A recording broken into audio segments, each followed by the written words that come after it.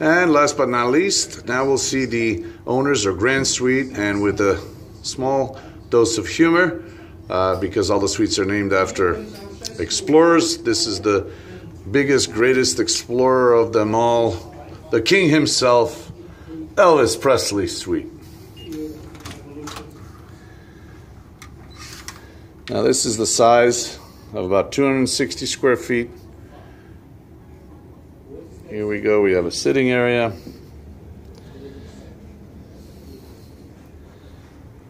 And, and again, a nice fully stocked bar.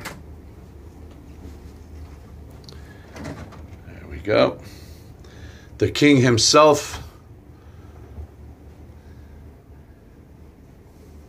The couch and a sitting area. Two sets of French balconies.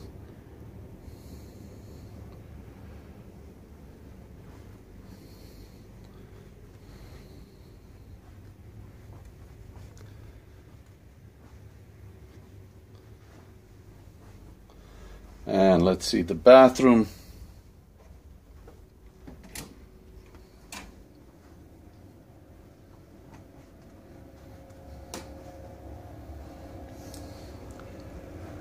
And here we have the separate enclosed shower.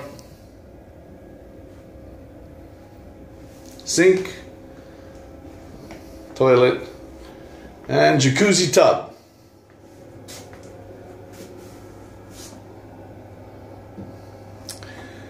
Spacious, beautiful, elegant. The grand